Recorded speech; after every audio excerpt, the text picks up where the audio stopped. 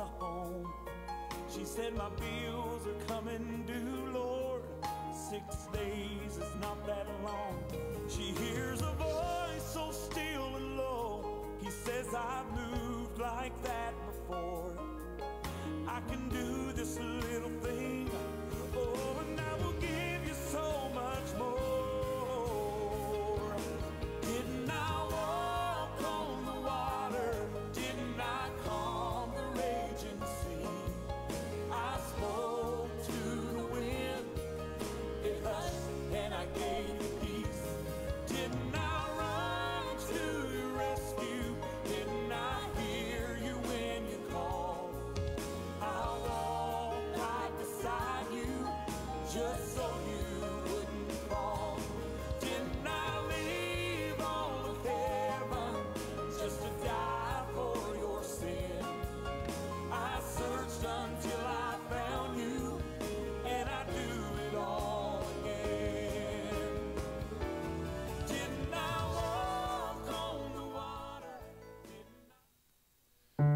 The Lord, everybody. Amen. It's good to be in the house of the Lord this morning. Happy Mother's Day to all of our moms. Amen. If someone is standing near you, wish them a happy Mother's Day this morning. Amen. We appreciate all of our mothers here today. We wouldn't be here without them. Amen. Amen. So we're so glad. Amen. We can celebrate with you this morning. Happy Mother's Day to everyone. We're thankful for our mother, the church, this morning. Amen. That we could come into and worship the Lord together. Amen. Let's just sing and magnify God this morning. Let's worship the Lord together.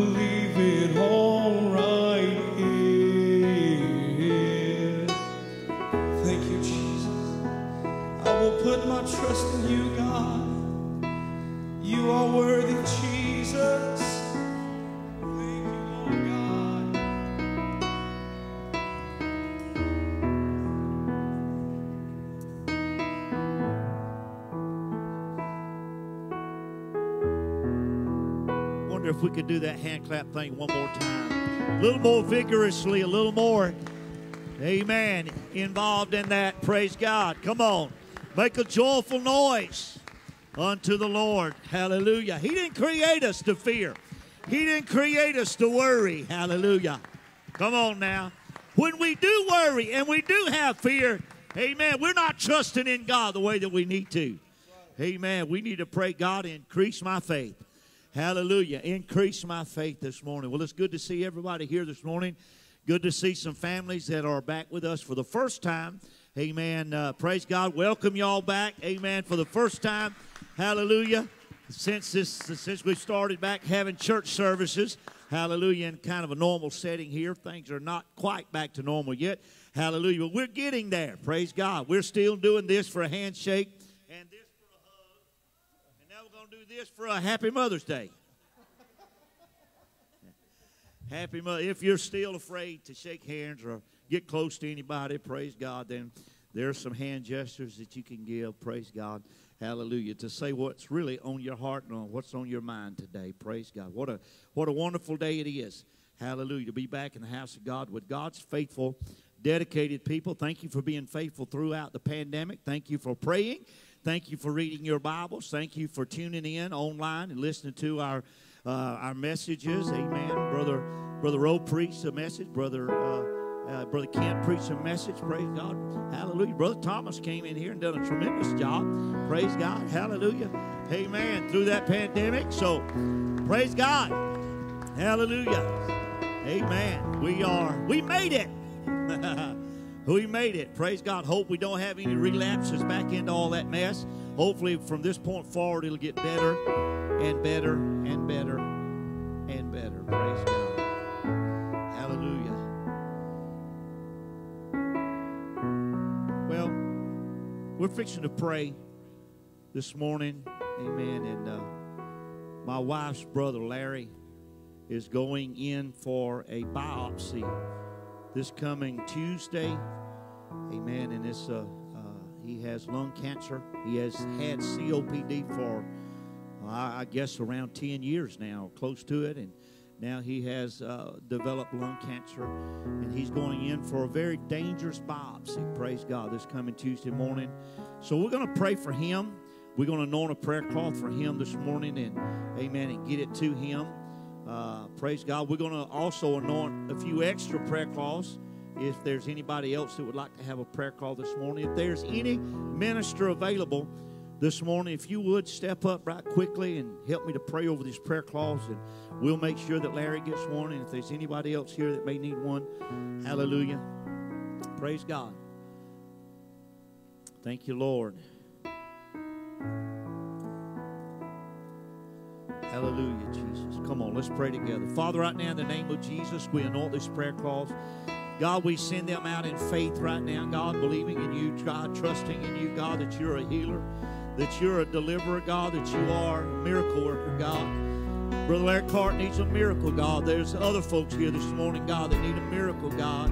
Hallelujah, God. So we're anointing these prayer cloths, God. We're pleading the blood of Jesus, God, over their need and over their situation, God. And we're putting our faith in you, God, and our trust and confidence in you, God, that you're going to send your angels, God, with these prayer cloths, God, and you're going to minister, God, to the needs that are necessary, God. Hallelujah, God. Lord, only you know, God, how to heal and raise somebody up out of the afflictions, God, that, Lord, that we face in life sometimes, God. But you've done it before, and God, we believe that you can do it again, God. You can do it again, God. Hallelujah. You can heal these bodies. Hallelujah, God. Grant miracles, God, to these bodies this morning, God. Hallelujah, God. And we give you praise and honor and glory, God. In Jesus' name we pray. Sister Ralph, if you want to come and get Larry's, hallelujah. We anointed five or six extra prayer cloths there. So if you need a prayer cloth, just raise your hand. Amen. If you would just raise your hand, we would uh, get a prayer cloth to you. In the midst of our jubilation this morning and being back in church, and I'm sure that a lot of you know this already, uh, and some of you may not know this because we were so late being able to put it on social media, praise God. But Brother Troy Birmingham, uh, man that's been, uh, been coming to this church for many years, probably close to 20 years. He passed away this past Friday morning. He was sitting right over there on that front row Wednesday night. He looked as healthy as he has in a long time. He was sitting over there. I think Thursday evening he developed some chest pains. He went to the hospital. He had several uh, things that happened with him at the hospital on Friday night. And then on Friday morning, he passed away. I got a phone call from his son Jason around 8 o'clock on Friday morning telling me of his passing. Hallelujah. And uh, uh, it is a sad thing to hear about. It is a sad thing to, to know that he has passed, passed away. But this morning, we're going to pray for his family. We're going to pause just long enough this morning to pray for his family, pray for Jason, his son, Tony, his son. The, some of the children that Brother Birmingham had lived in Arkansas, and a lot of his family was from Arkansas, and he was from Arkansas originally. So there's a lot of his family that we never got to meet. We never met some of his children. We never met some of his family, a lot of his family. But they are all needing our prayers this morning, praise God, along with uh, a lot of other people. Praise God. So if you would stretch your hands, amen, toward heaven. Let's pray for Brother Birmingham's family as they are dealing with the grief, God, that they are suffering right now over his passing. God, I pray right now, God, for Brother Birmingham's children, God, his grandchildren, God, his great grandchildren, God, his uh, Lord, his extended family, God, Lord, that are living out there in Arkansas, God, and possibly many other family members that live in various parts of this country, God. We pray for them right now. God, we pray that you would comfort them, strengthen them, and help them, God, through this grieving process. Hallelujah, of grieving, God, over this lost loved one, God. I pray, God, today, hallelujah, that you would reach down and uphold them. Hallelujah. Wrap your arms around this family right now, God, this church family, God. Hallelujah. As we have lost someone God, that has been a part of this church family for a long time, God. We pray, God, this morning that you would comfort this church family. Hallelujah. Those that were close to Brother Birmingham, those that knew him well, those that, amen, hung out with him and ate meals with him and went places with him, God.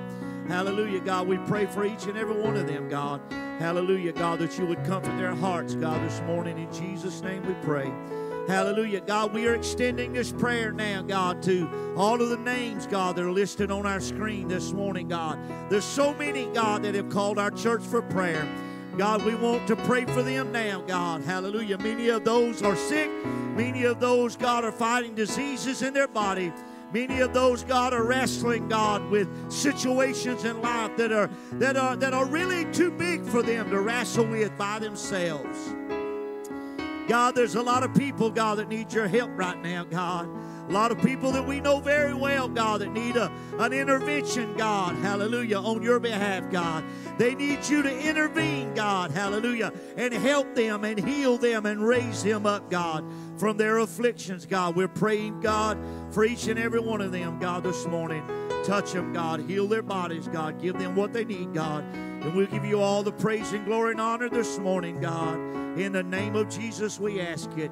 Hallelujah. Somebody say amen. Somebody give the Lord a great big hand clap of praise. Hallelujah. For the help that God gives to us while the choir comes. While the choir comes and gets ready to sing this morning. Hallelujah. Turn around give somebody a big thumbs up. Okay, Hallelujah, Jesus. Thank you, Lord. My wife told me Sister Kiva is here. Where's she at? Raise your hand, Sister Kiva. There she is, sitting right over there. Hallelujah. Hadn't seen Sister Kiva in months and months and months and months.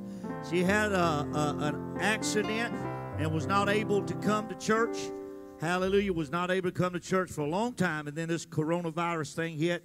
Hallelujah. And she hadn't been able to come to church throughout all of that stuff. So, Sister Kiva, good to see you. Good to see you. Good to see, amen, uh, Brother Curtis and Sister Chris this morning. Good to see all of the rest of the church folks that are coming back in now.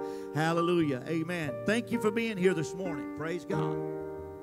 Okay. Hallelujah. Thank you, Jesus. Lift your hand toward heaven and let's pray for this young lady.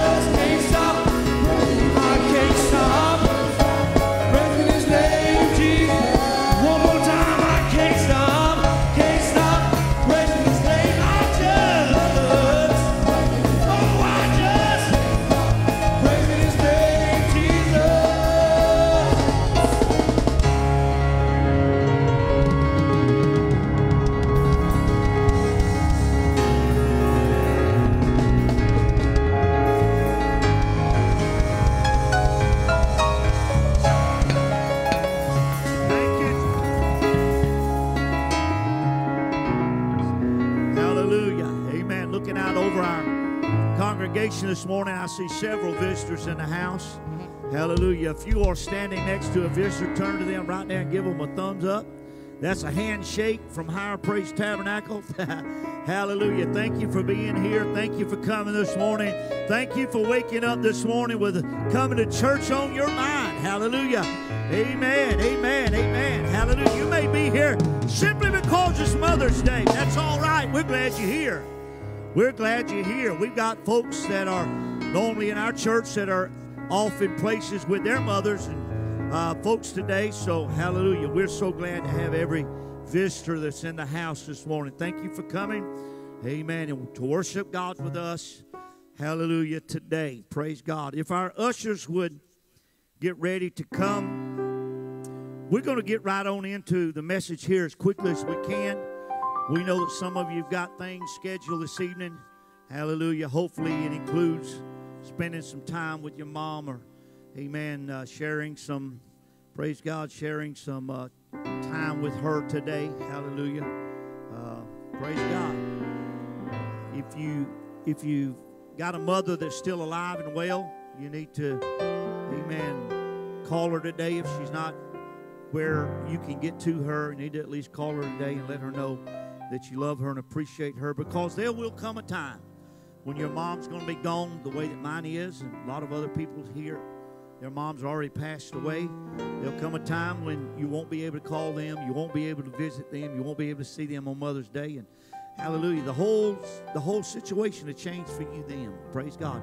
You'll go back down memory lane and amen and wish that you could call your mom on the phone again and wish her happy mother's day and those kind of things praise god. So if you got a mom that's alive and well Amen. Make sure you make contact with her today. As already has been said, Brother Rowe started out the service saying Happy Mother's Day. Hallelujah to all of the moms that are here today. We, amen, uh, agree with that statement. Praise God. And we just want to add our Happy Mother's Day to all of the moms that are here today. Hallelujah. And thank you.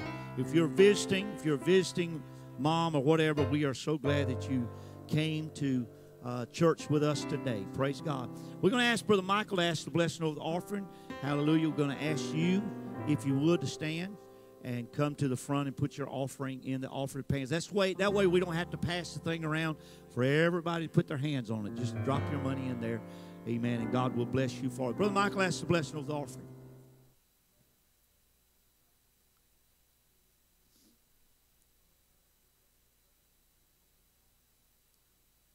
Amen. Give us unto the Lord this morning. Praise God.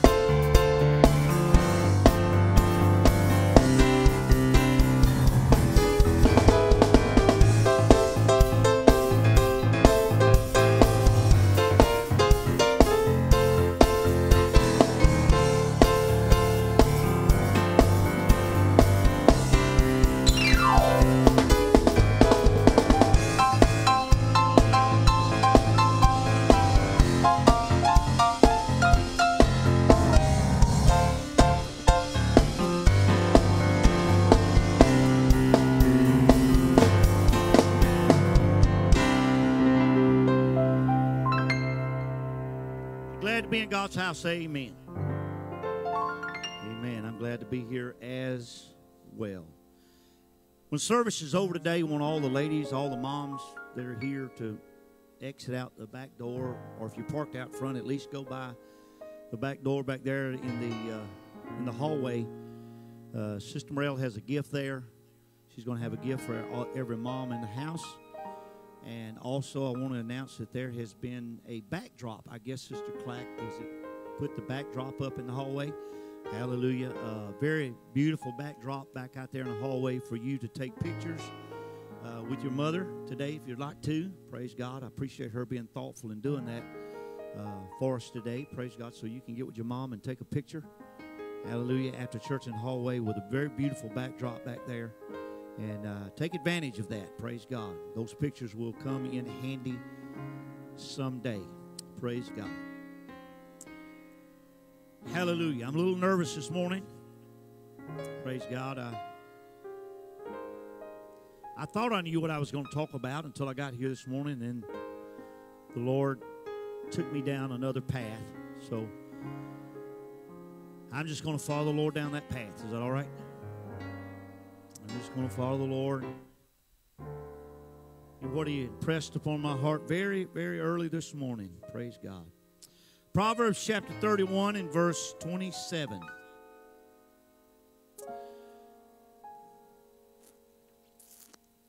This is a chapter in Proverbs that talks about the virtuous woman. Praise God. I'm Not going to read it all. I know you've heard it. Amen. Many times in the past. And if you haven't never heard it, hadn't never read it, then it would behoove you to read it again. Praise God. Because there's a lot of things to learn here. Amen. About the virtuous, the properties of the virtuous woman. Praise God. She was quite a unique individual. And as you read these various verses of Scripture, if you find out that you're not quite up to par with the virtuous woman, then don't give up on yourself. Don't throw in the towel and say, I can't be all that I am supposed to be. Just try a little harder. Put a little more effort into doing the best that you can.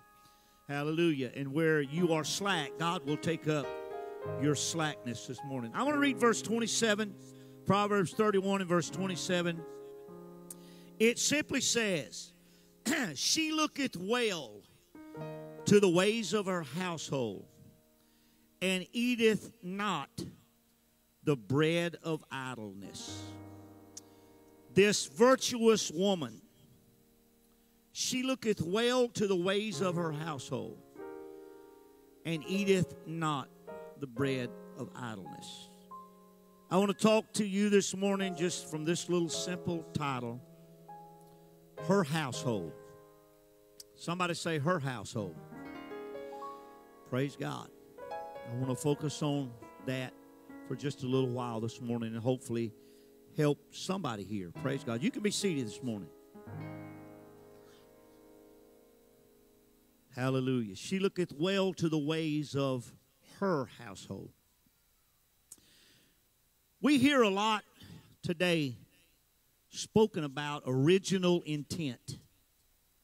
We've heard that spoken a lot about amen, over the past, oh, several, several years, amen, as people have uh, brought cases against this country and against the Supreme Court, or brought cases to the Supreme Court, amen, fighting the, uh, the Constitution of the United States and fighting to change the Constitution of the, uh, of the United States. So I think there's even a book out there entitled Original Intent today. I don't think I've read it I've read a lot of books in that in that field, but I don't think I've actually read that book that is entitled Original Intent. Praise God. But it's obvious uh, today that we are living in uh, that in the school of law, amen, the word, the words original intent simply means that the Constitution of the United States should be interpreted according to the intentions of the framers of the Constitution. So when you hear the words original intent, it is referring to, amen, the intentions of the framers of the Constitution.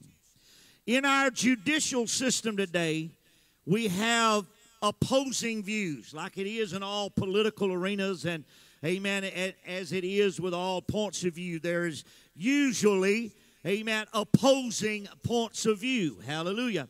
Amen. So it's the same way in our judicial system today. They are opposing views.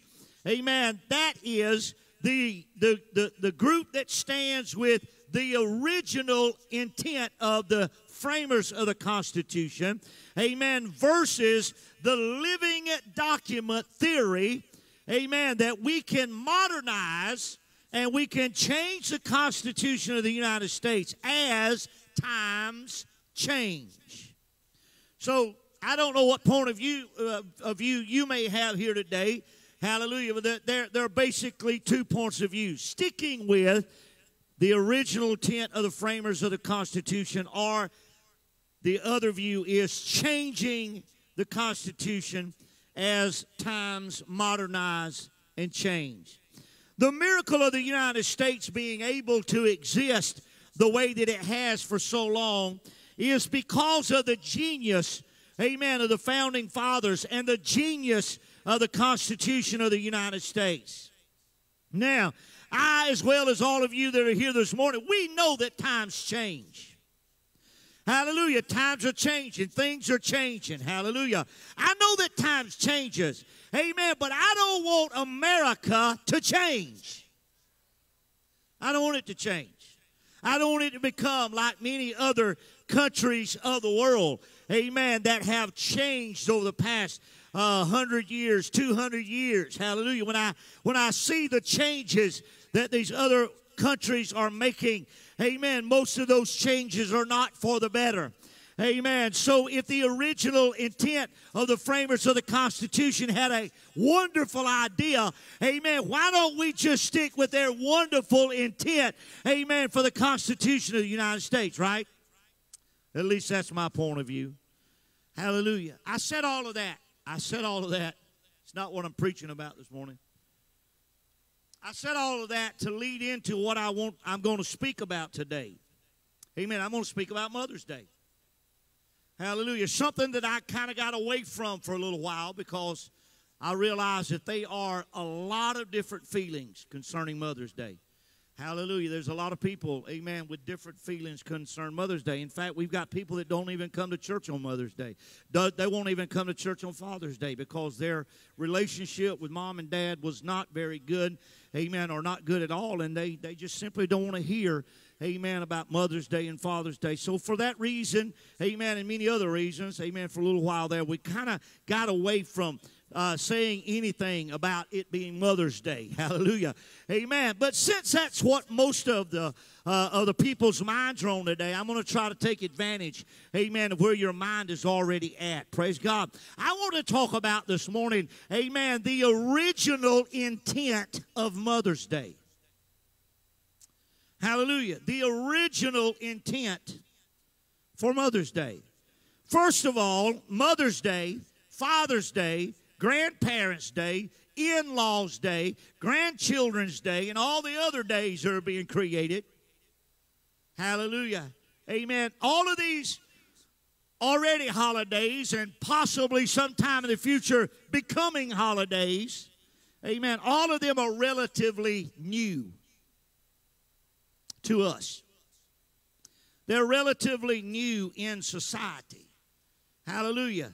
200 years ago, there wasn't such a thing as Mother's Day, Father's Day, Grandparents' Day, and these other days. Hallelujah. In fact, amen, Mother's Day is actually 112 years old, amen, in America. Mother's Day is 112. You, th- you say, well, that's not that, you know, new. Amen. It's 112 years old. Well, when you take, amen, there's 7,000 years of human history, and Mother's Day has only been around for 112 years. Amen. In, in light of that, it is relatively new, amen, to society, amen, to celebrate a Mother's Day. Praise God. Amen. Anna Jarvis amen, is deemed to be the woman who officially got Mother's Day started in America. It was first held, amen, in St. Andrew's Methodist Church in Grafton, West Virginia on May the 10th in 1908. Hallelujah. So Anna Jarvis coordinated, put together, amen, a Mother's Day service for her church there, amen, in West Virginia, a Methodist church in Grafton, West Virginia, on May the 10th in 1908. Hallelujah.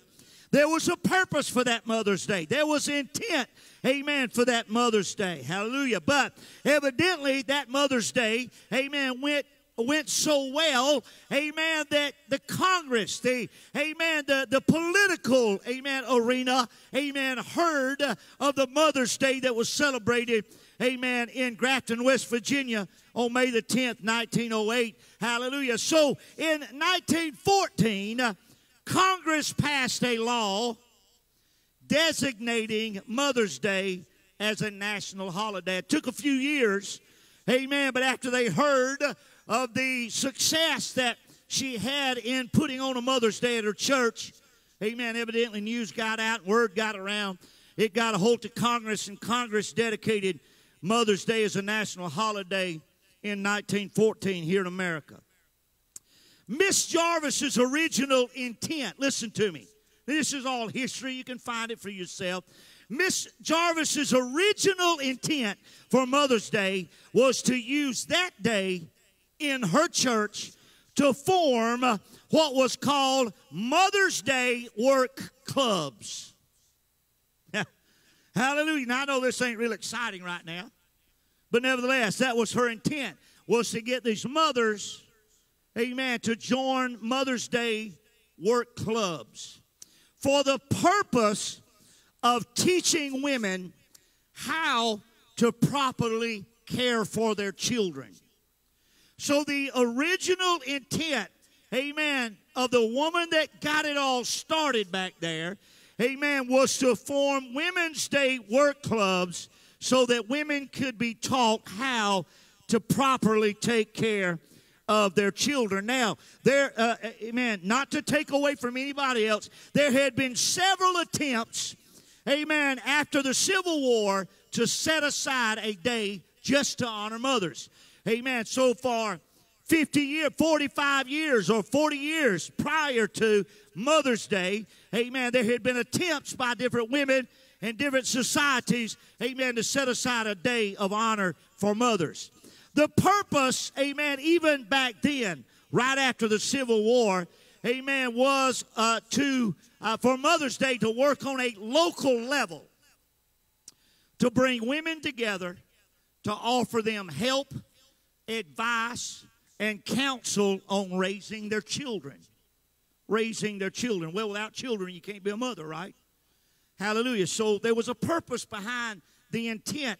Amen. For 40 or 50 years, there was efforts made, amen, to set aside a day to honor mothers. Hallelujah. Amen. Over the years, Amen. Why, why is this important to us? Hallelujah. Why did it keep building and building and building until it became Mother's Day? Amen. Here in America.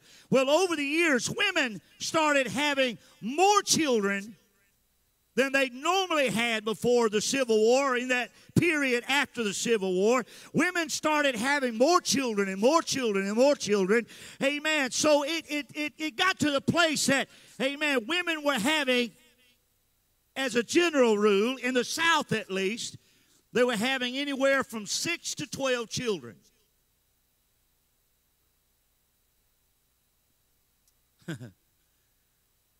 now, I don't want to say anything about that because we got some folks in here that's got somewhere between 6 and 12 kids. Amen. Hallelujah. Amen. And, and anybody that's ever tried to raise two or three kids knows that, hey, there's time you need some help. Amen. And especially those that had, listen, I heard of families, I heard of women, uh, women that actually gave birth, amen, to 18 or 20 children. I don't know how they done it, but they did. They kept busy. Amen. Having children. Well, it was uh, cotton became king of the South. Amen. And it became a means, amen, by which to produce labor in the fields. Hallelujah. The more children a man or woman had, hallelujah, the more help they had to raise their crops, to raise their food, to raise the cotton, amen, by which most of them, amen, made their living back then. Praise God. So, hallelujah. After, but after it was made a national holiday, amen, after the political people got involved and made it a national holiday, the purpose and the intent of Mother's Day was changed by the commercialization of that day. Amen. It was so changed that Miss Jarvis, the lady that started Mother's Day in her Methodist church in West Virginia, in her latter years, she came out and denounced Mother's Day.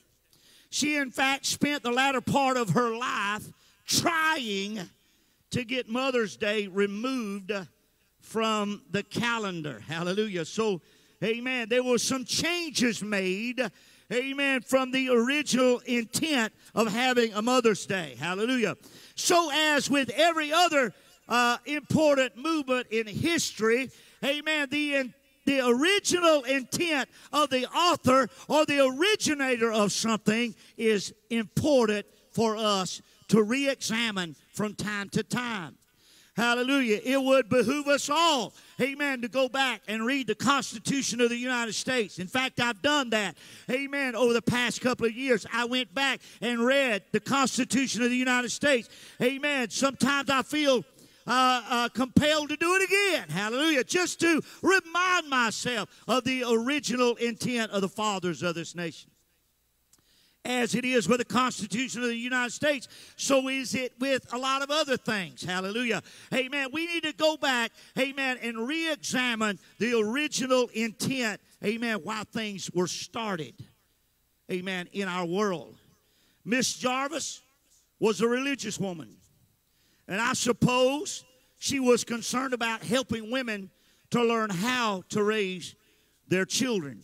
So on this Mother's Day, on this Mother's Day, amen, in 2020, shouldn't we, amen, have, uh, have the same concerns that she had, amen, in her original intent for Mother's Day? Hallelujah. Shouldn't, uh, amen, re- we re examine, amen, why she started it so that we can go back to the original intent, intent of why it was started.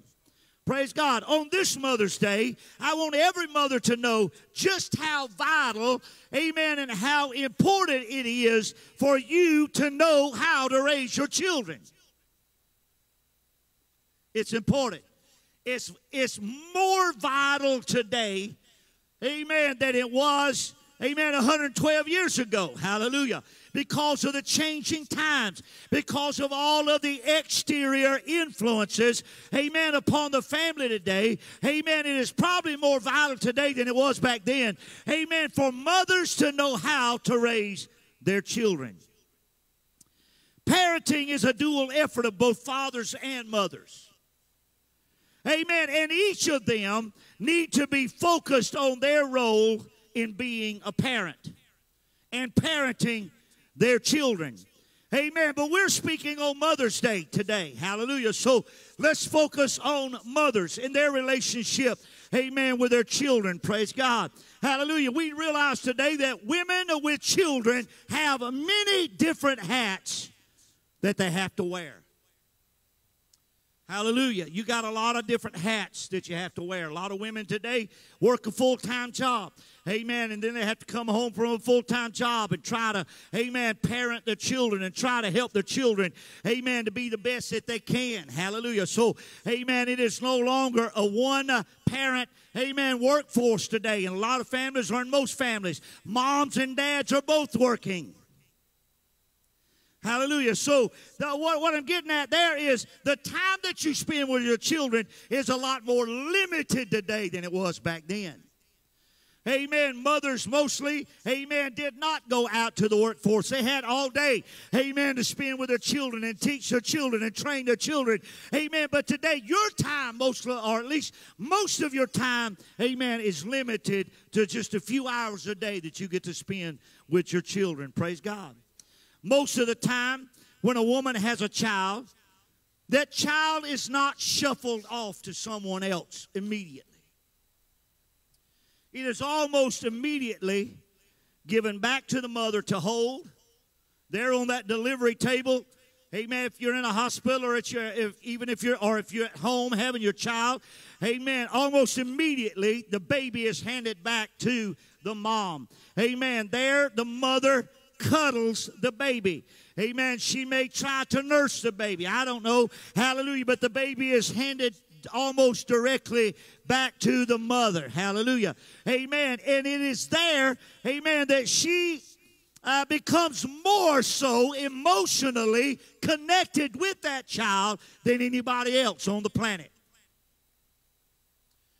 Amen. She she's emotionally connected with that child before anybody else. She is given the opportunity, in most cases at least, amen, to physically hold that baby in her arms that she has been carrying in her womb for nine months. Hallelujah. She gets to hold it for the first time. Amen. She gets to cuddle it. Amen. Uh, for the first time. Hallelujah. Amen. Emotionally connecting with that child. Amen. And she should have that right. She carried that baby for nine months and then went through labor to bring that child into the world. And through her birth pains, everything changes for that mother. Through her birth pains, everything changes for that mother. Her, her influence on that child's life is so important then at birth, amen, and then throughout the years of development for that child's life. Hallelujah. In the animal kingdom, most of the time, it's the mother's role, or it is the mother who takes the role. I don't know if it's just natural, amen, in the animal kingdom, or if the moms that bear those babies out there in the animal kingdom just take that role for themselves. Amen. They take the role of being, amen, the fierce protectors of their offspring. Most of the time, it's the mothers that protects the babies. The orangutan, the polar bears, or bears in general, elephants, cheetahs, penguins, and amen, almost every animal, hallelujah, it's the mother. Not all, but most all animals, it's the mother that becomes the protector of her children, praise God. So is it with most humans as well. Hallelujah. Amen. Women protect their young. Praise God. Amen. We've all heard the statement, don't mess with mama bear. That ain't always referring to the animal kingdom, even though, amen, in my encounters with bears, whenever I saw bear cubs, I didn't hang around in the woods when I saw bear cubs. I got back to my car pretty quick because I knew wherever a bear cub was, there was a mama bear somewhere close by. Now, I don't want to tangle with mama bear. Hallelujah. There's a lot of human mama bears that you and I don't want to tangle with. They will rip your eyeballs out of your sockets if you mess with their babies. Hallelujah. I'm telling you, amen. And hey, amen, that, that's the role that they take on, praise God, when they bring children into the world. Hallelujah. They become prime uh, protection for that child, right? They do that. Amen. There's a unique way that humans do that. How can a woman become a protector of her children? They do that by creating, listen to me, women. Amen. They do that by creating a kind and loving and caring relationship with that child. Hallelujah. They bond with that child they instill trust and security, amen, for that child, amen, so that if that child ever has a reason to fear something, amen, they will know where to run and who to run to. So they develop this relationship with that child with their loving care. Hallelujah. Amen. Relationship with that child. They instill trust and security in that child. They protect them. They wrap their arms around them. They love on them. They cuddle them. Hallelujah. And in doing all these little gestures that we see moms do today, amen, they are creating a trust in that child that if ever they get in a fearful situation, they can run, amen, to mom.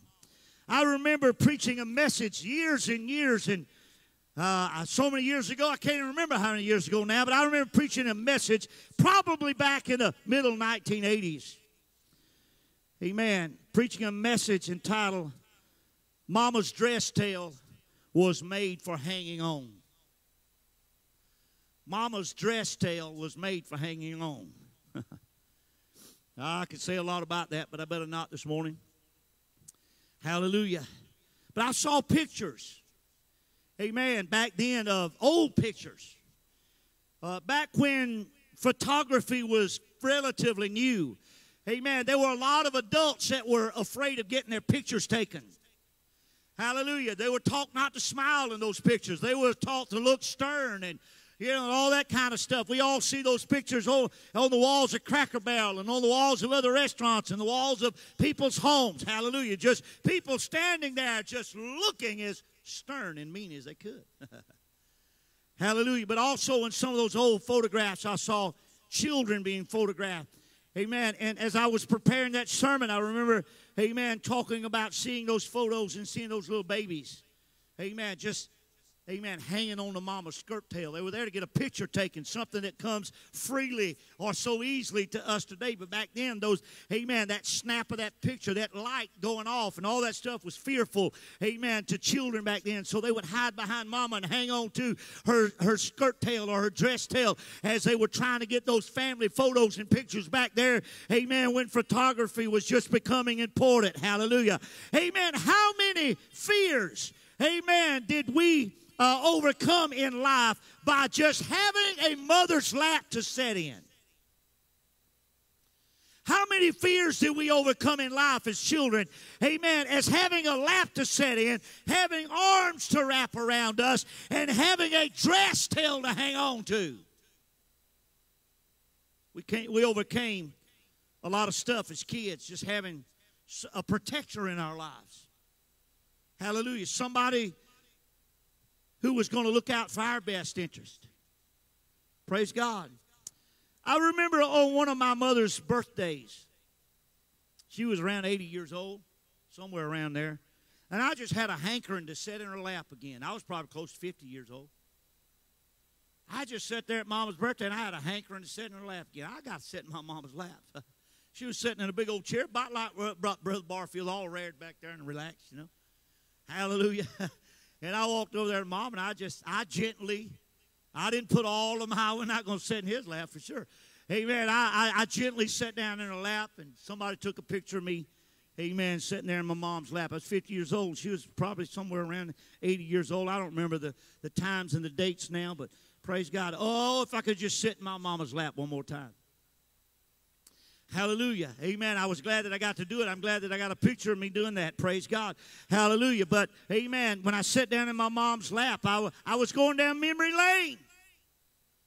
Amen. Thinking about all that she had taught me and all that she had, amen, told me. Hallelujah. The life that I had shared with her. Hallelujah. How much pressure she took off of me just by being there. Hallelujah. Miss Jarvis Miss Jarvis wanted to help women to know their role as a parent. That was her original intent for Mother's Day. A mother's role is to protect her children and to create an environment for healthy learning. Mothers are teachers. If you didn't know that, now you do know that. Mothers are teachers. You will be, amen, the first teacher that your child will ever sit in a classroom for. Hallelujah. It may not be a classroom, amen, like a, a, school classroom, but in your home, amen, your home becomes your classroom. Amen. You are the teacher and your child is the student. Mothers are teachers, training their children. In Proverbs chapter 22 and verse 6, the Bible says, Train up a child in the way that he should go, and when he is old, he will not depart from it. Hallelujah. So, training is a part of being a mother. Back in Exodus chapter 1 and verse 2, there's a story about Moses back there. I'm not going to go back there and read it for you. Amen. If you hadn't already read it, you need to go and read it for yourself. Hallelujah. Maybe you'll remember it. Amen. If you hadn't read it in a long time. Amen. Moses was born in an unfortunate time when Pharaoh wanted all of the male children to be killed. For whatever reason, Pharaoh wanted all of the male children to be killed. Moses' mother took time to build an ark of bulrushes to hide him in. Amen. And he was hiding in that ark when Pharaoh's daughter found him in the river. When she saw the child and saw that he was a Hebrew child, the Bible says that she had compassion on him uh, and wanted him for herself. But she had a problem. She couldn't nurse the baby. Hallelujah. And just so happened, Miriam, Moses' sister, was standing right there amen, on the bank of the river when Moses was discovered by Pharaoh's daughter. Hallelujah. And she suggested, amen, to Pharaoh's daughter, I know a woman that can nurse this child. So evidently, Pharaoh's daughter looked at her and said, Go get her. Amen. So she ran just a little ways down the river. Amen. And she brought back, amen, who became the nurse of Moses. Amen. And it was none other than his mother herself. Amen. So God made a way, amen, for Moses' mother to stay with him. Hallelujah, because God had a calling. God had a purpose. Amen. God had a future for Moses. Hallelujah. Amen. And that's what every parent here needs to look at. Amen. You are, you are parenting children. Amen. That have a future in God. That have a purpose in God. That have a calling of God. Amen. So you need to be investing your best in them so that they in return can do their best in God. Oh, hallelujah. We don't know just how long Moses' mother was able to keep him and nurse him as her own, but the day came that Pharaoh's daughter took him home with her, took her out of the arms of his mother, and took her to the palace. Here's what's important about that story about Moses. His mother had taught him enough in his childhood to know that he was a Hebrew and to know that he was special in the sight of God. Hebrews chapter 11, verse 23 through 30 reads like this By faith, Moses, when he was born, was hid three months of his parents because they saw that he was a proper child and they were not afraid of the king's commandment. By faith, Moses, when he was come two years, there's a lot of, there's a lot of time there. He went from being a baby to being a grown man now. By faith, Moses, when he came to years, refused to be called the son of Pharaoh's daughter, choosing rather to suffer affliction with the people of God than to enjoy the pleasures of sin for a season esteeming the, the reproach of Christ greater riches than the treasures in Egypt, for he had respect unto the recompense of the reward. By faith he, he forsook Egypt, not fearing the wrath of the king, for he endured as seeing him who was invisible. Hallelujah. Through faith he kept the Passover and the sprinkling of the blood, lest he that uh, destroy the firstborn should touch them. By faith they passed through the Red Sea as by dry land, which the Egyptians essayed to do were drowned. By faith the walls of Jericho fell down. Talking about future events in Moses' life. Moses was the man that led the children of Israel out of Egypt, amen, in the direction to the promised land. It was Moses, amen, hallelujah, that led them out of Egypt, hallelujah, amen. Why was he able to lead them out of Egypt? Because his mother taught him right his mother in that time that she nursed him. Amen. Let him know without a shadow of a doubt that she was his mother. Amen. That he was a Hebrew. Amen. That he had a special calling of God upon his life and that he was going to do something great for God someday. Where did Moses learn who he was? From his mama. Amen. Where did he learn? Amen. To have faith in God from his mama. Where did he learn? Amen. That God was a deliverer. He learned that from his mother. Amen. Where did he learn that by making right choices, he could help himself, amen, and a whole nation of people, amen, find deliverance, amen, from Egyptian bondage. Praise God. Hallelujah. All of that came from his mother. Amen. So I'm asking all of the moms here this morning, are you listening to me? Are you listening to me? It was a mother's advice and counsel and teaching and training, amen, that prepared him, amen, for a bright future in God. Hallelujah. Amen. So, hey, are you listening?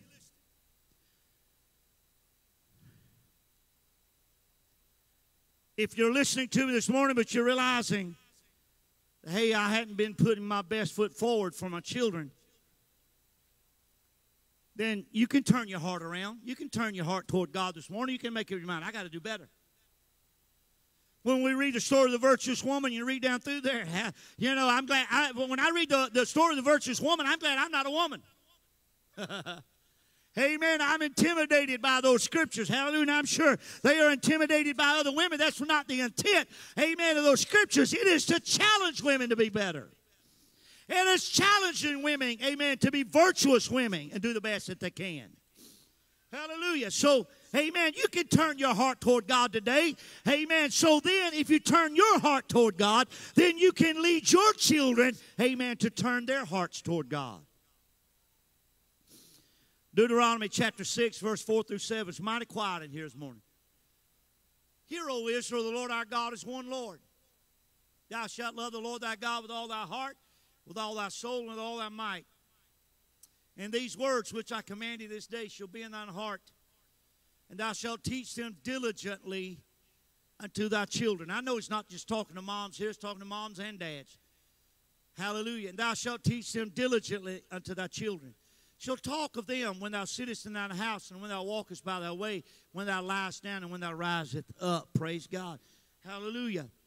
So, amen. When you as a parent love God with all of your heart, when you as a mother love God with all of your heart, then that same love that you have for God will be extended to your offspring. That same love that you have for God will be extended to your children. Hallelujah.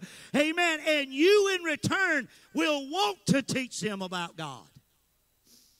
Amen. When we love God with all of our heart, then we want other folks to know God and to love God with all their heart. And who else would we rather convince to love God other than our children?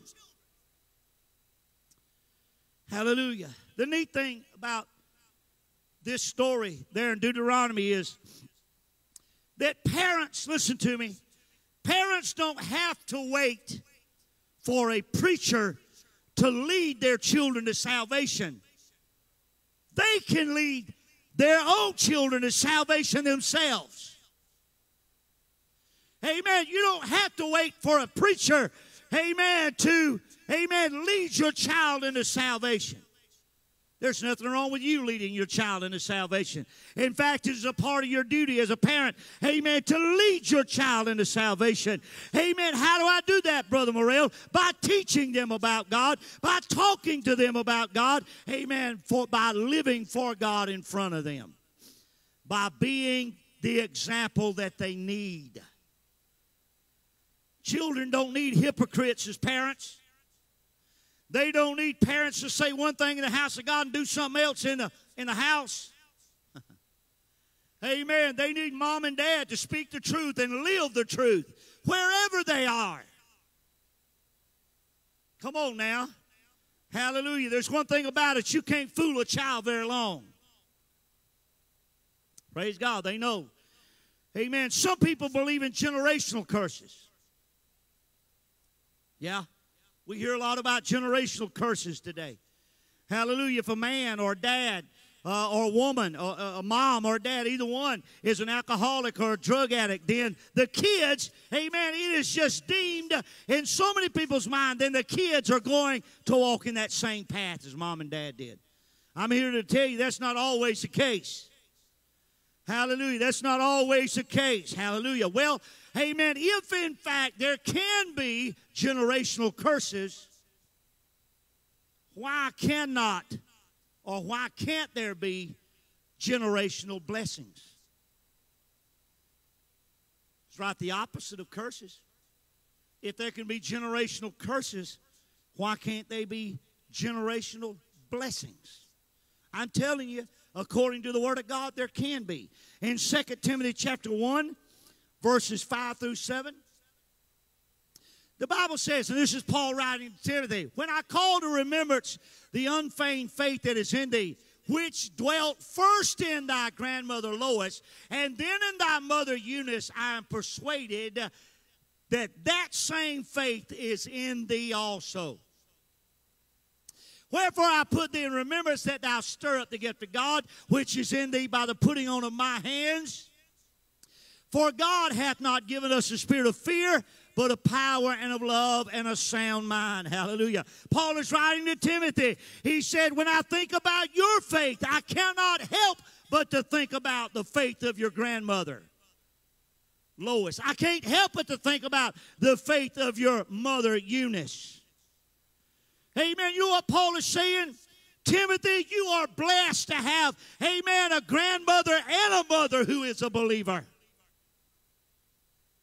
Young folks that are here today, hey amen, your mom and dad take you to church, get you involved in Sunday school, in youth, uh, uh, youth projects, and in youth groups around the house of God. You are blessed beyond measure.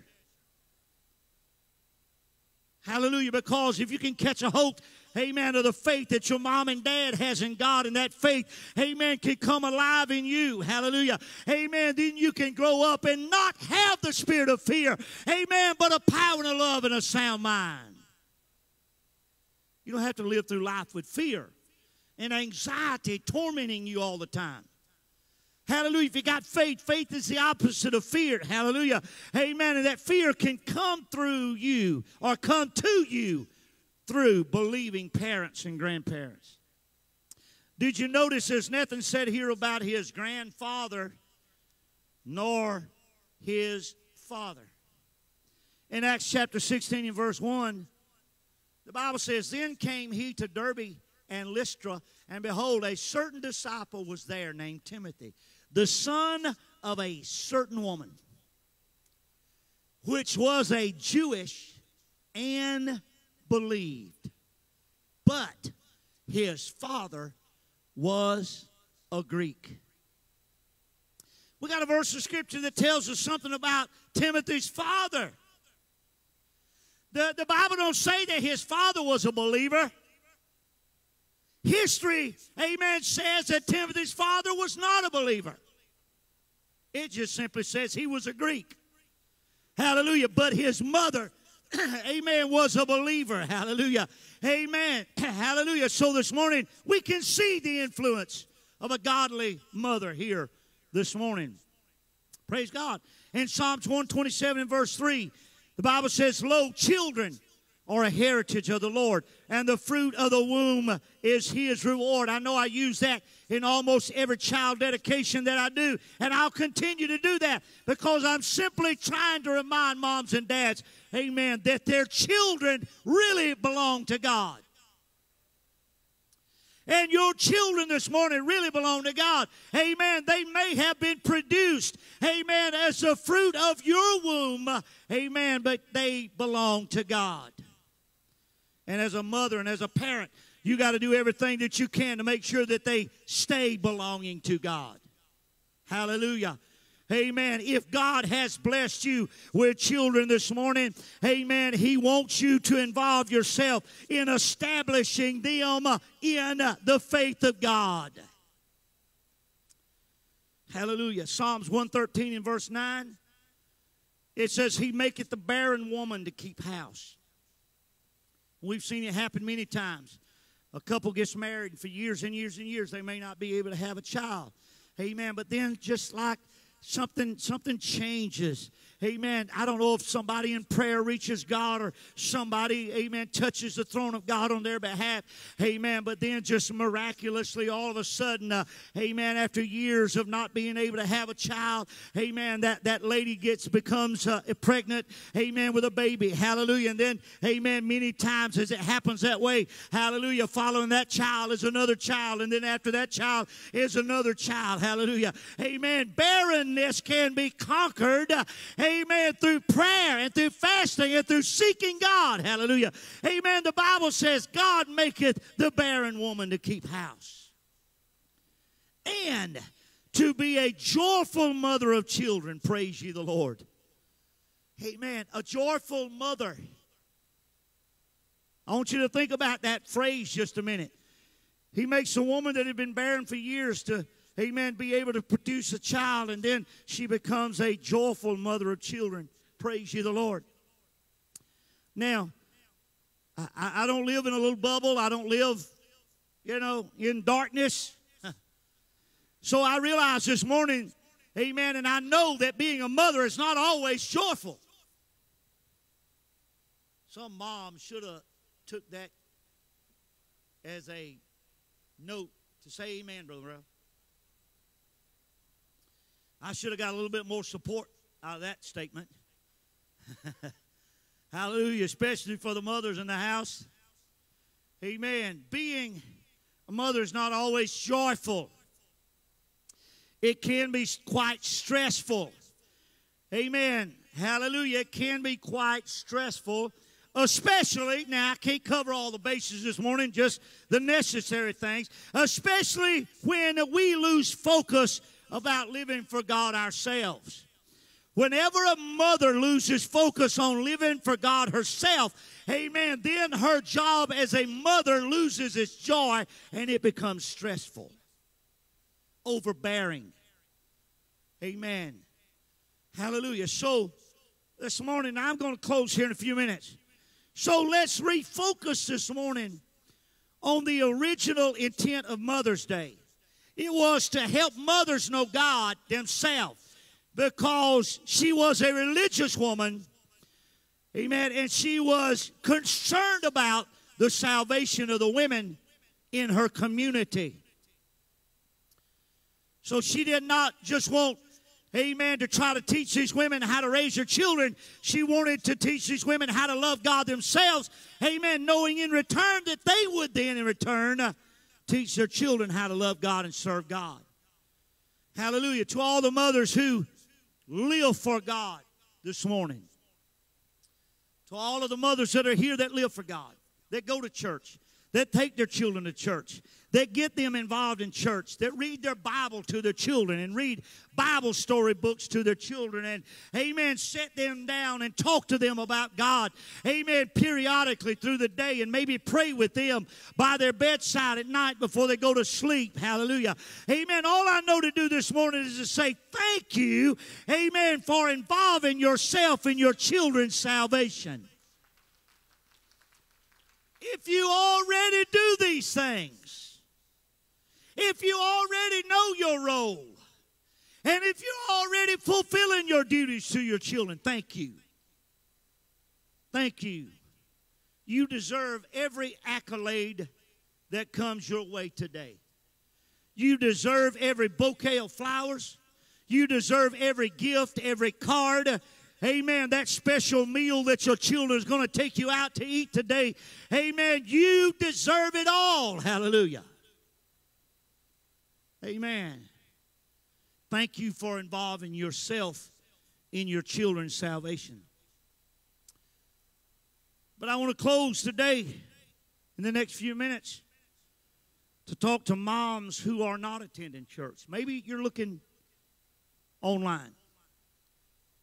Hallelujah. Maybe you're sitting here this morning. I don't know. And you hadn't, you know, and I know, listen, I know we've all been through this pandemic. Church has not been, uh, you know, uh, we hadn't been able to come to church in a normal sense in quite some time. I think this is only our third service after uh, we started having church again. Praise God. So we're, we're trying to get kicked back into gear. We're trying to get back into motion. We're trying to get back, amen, into going back to church on a regular basis. Praise God. Hallelujah. But if you, amen, are sitting here this morning, you hadn't been attending church, amen, you need to leave this service today knowing, uh, amen, that you need to get back to attending church. If you're looking online and you're not attending church, Hallelujah. There's coming a day, amen, that this pandemic is going to be done and go over with. Amen. Uh, said and done and past. Hallelujah. Amen. And when we get there, don't be the one that stays at home. Don't be the one that sits at home and looks at church online. Amen. You cannot forsake the assembling of yourselves together in the house of God. You can't forsake it forever. You got to get back to church for your own sake. You got to get back to church for your own salvation's sake. Hallelujah. So, moms, if you're not attending church, you need to think seriously about getting back to church. Because there's one thing important. Amen. You don't want your children to get accustomed to not going to church. Hallelujah. You don't want your children to get accustomed to not going to church. If y'all come on to the music, y'all will help me out here. The thing you need to understand, Mom, is that you need church fellowship yourself for your own salvation. Hallelujah.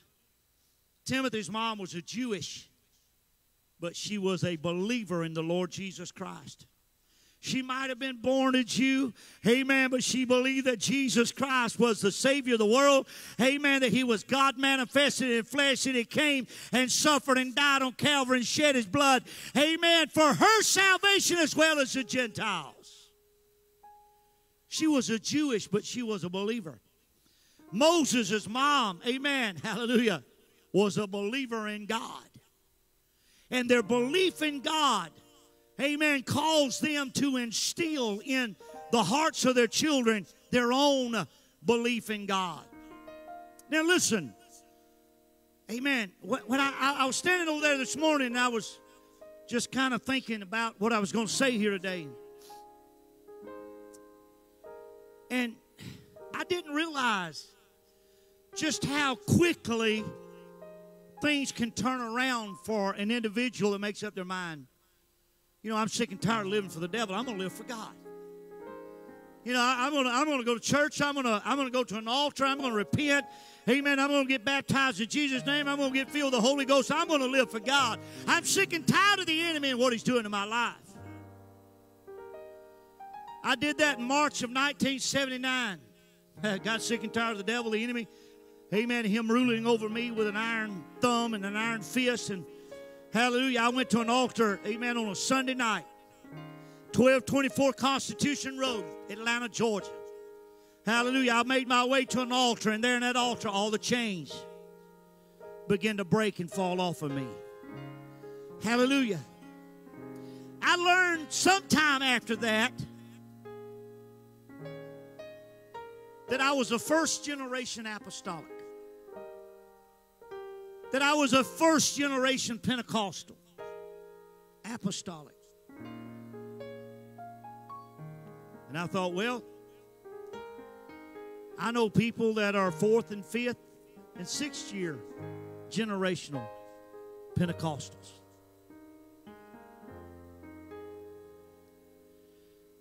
Hallelujah. It seems like yesterday that I made my way to that altar. Yesterday, I gave my heart to God, not knowing anything about my future.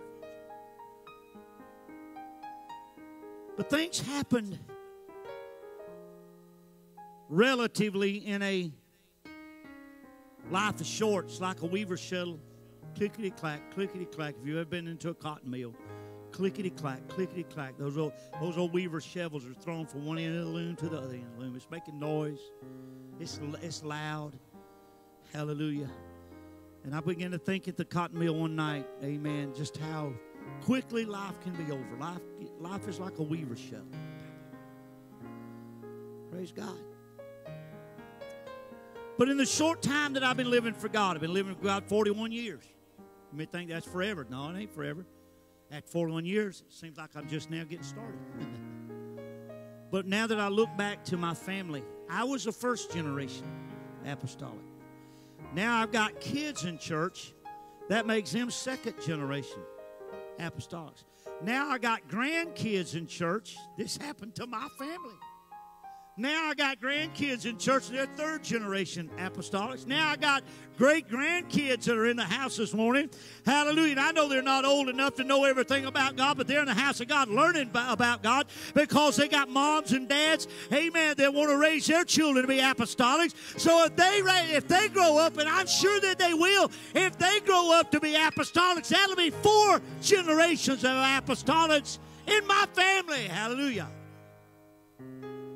Hallelujah. I've heard of people being sixth generation apostolics. Now, I just stood in awe when I heard those things, not, not, not realizing Amen. That pretty soon in my own family there would be second, third, and fourth generation apostolic folks in my own family. See, what you need to know this morning is that you need church fellowship. I'm not just preaching to all the moms here in, in the house this morning. I'm preaching to mothers that are looking online right now.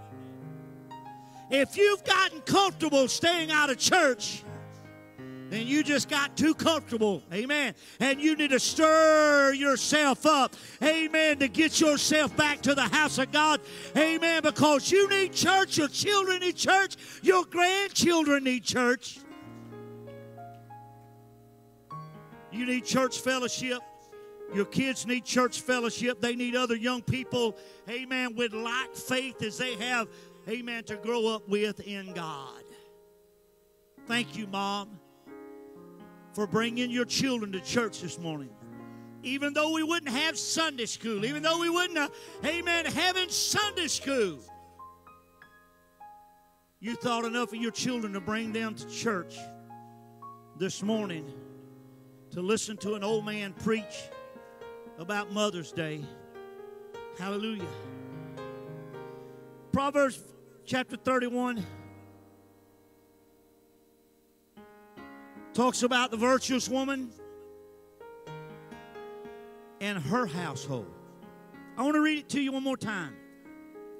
If they could find it right quickly on the screen, Proverbs 31 27, all the way through 30 this time. She looketh well to the ways of her household. And as she's looking well to the ways of her household, she refuses to eat the bread of idleness.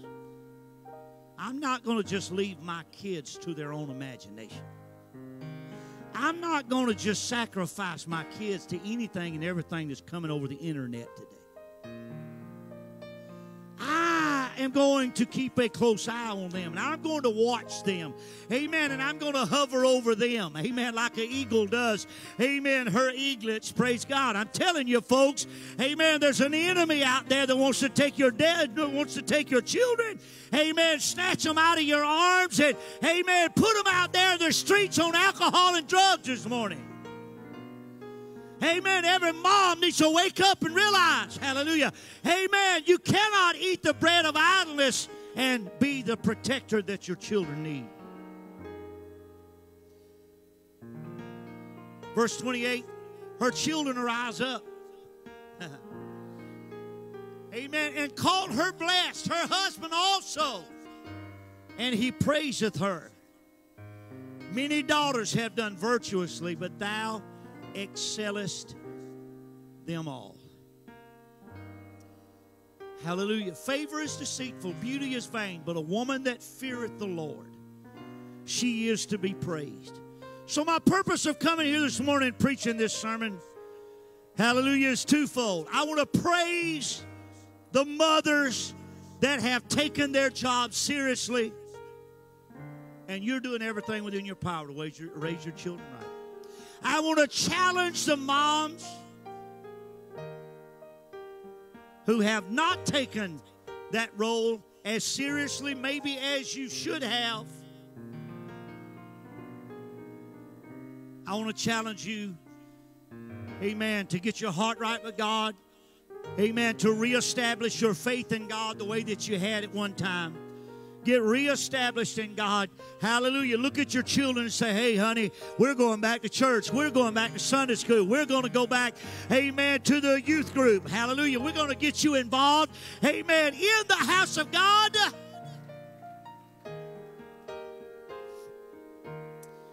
If the ways of your household need some fixing, if the ways of your household need some changing,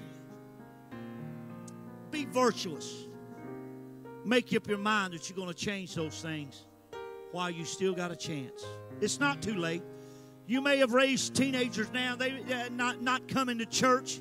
Maybe somewhere uh, back then, amen, you got out of church when your children were young, and now they're, they're teenage years and they're getting stubborn and rebellious, and they're back talking and arguing and fussing with you left and right. I challenge you not to throw in the towel on those kids. I challenge you not to give up on those kids. Amen. You need to go home and look at those kids and say, hey, mama's had a change of heart. Amen. Go home today and say, Mama's had a change of heart. Hallelujah. Folks, we're going back to church. Hallelujah. I'm telling you, the church will welcome you with open arms. Hallelujah. Amen. Because we want everybody that can be saved to be saved. I want you to stand to your feet this morning. I want every mother, amen, to, to, to realize that I am here today to say Happy Mother's Day to you. I hope you enjoy your day. I want you, amen, as you exit the sanctuary today, amen, to go back there to back and receive the gift that Sister Morel is going to be handing out to all the moms. I also want you to take advantage of, amen, the backdrop that we have back there for you to take a picture with your mom on this Mother's Day. They are very very, very important to you today, and they will be more so in the future. As you one day have to go down, back down memory lane, pull out the old family albums. Hallelujah. Look at pictures of a mom, hallelujah, that may have passed away years before. But you can sit there and look at those pictures and know my mom did the best that she could. My mom did the best that she could to raise me right, raise me in church, raise me to have faith in God. Come on, somebody. Come on, somebody. Hallelujah. Happy Mother's Day. Hallelujah. Come on, and it will be a happy Mother's Day for all who make up their mind. I'm going to get back to the house of God. I'm going to get back and rebuild my faith in God, reestablish myself in the kingdom of God reunite myself, hallelujah, with the fellowship of God's people. Come on, somebody. The original intent of Mother's Day was to teach mothers how to raise their children. You know what the intention of the church is today? You know what the original intent of the church is today? To help moms and dads to know how to raise their children. Hallelujah. Come on, you need to look at that child this morning and realize their value to you. Oh, yes, they are very valuable. They're very valuable to you. Hallelujah. They're going to be very valuable to God in their time. Hallelujah. As He places His anointing on them and begins to use them in His kingdom. Hallelujah. Oh, God, this morning, touch everybody. Hallelujah. Touch those that are looking online, God. Touch every mom that may be bowing her head right now and crying and praying. Hallelujah, and making up her mind. Brother Morel, thank you for preaching to me this morning. I'm going to make my way back to the house of God. Thank you for telling me what my duties are and my responsibilities are to my children. To make sure that they hear about God. To make sure that they know God. To make sure that they have a loving mother a loving mother.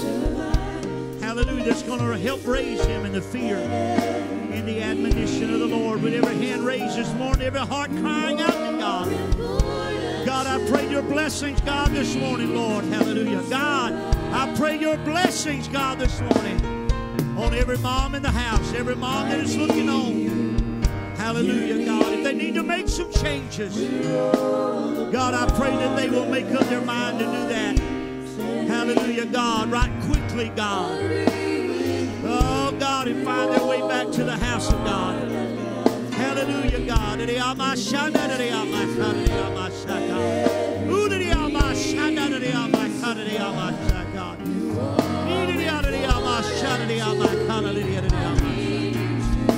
Holy Ghost, move right now, God. Spirit of God, move in this house. Spirit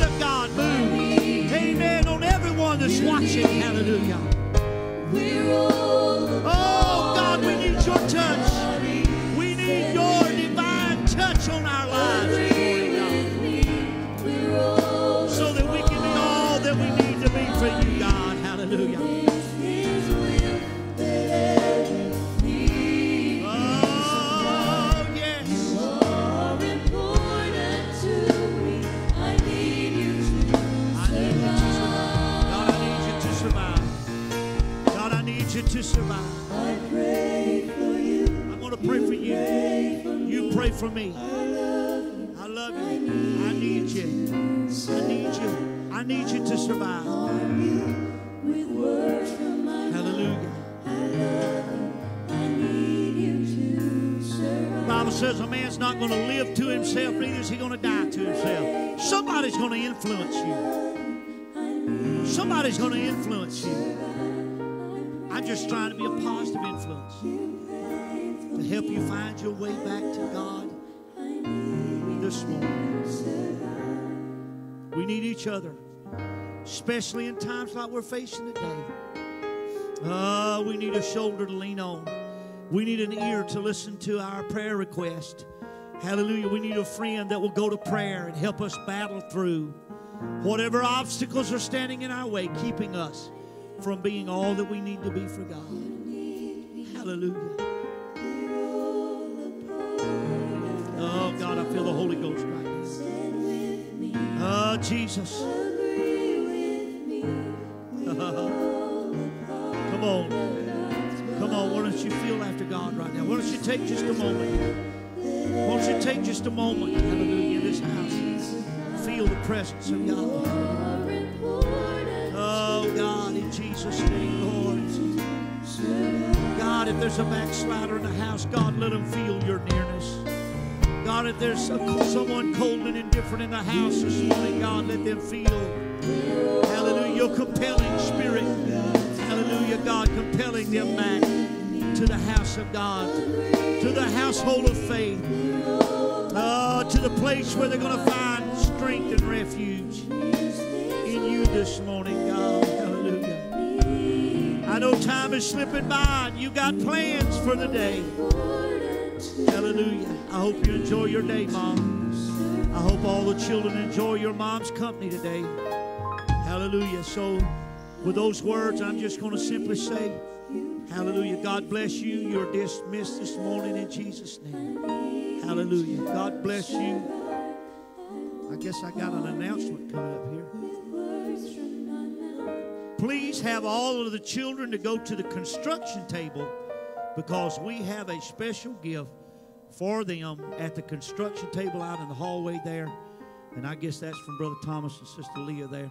So all the children go by the construction table out in the hallway. They have a gift for you there. Moms, go by the reception center out there, receive your gift.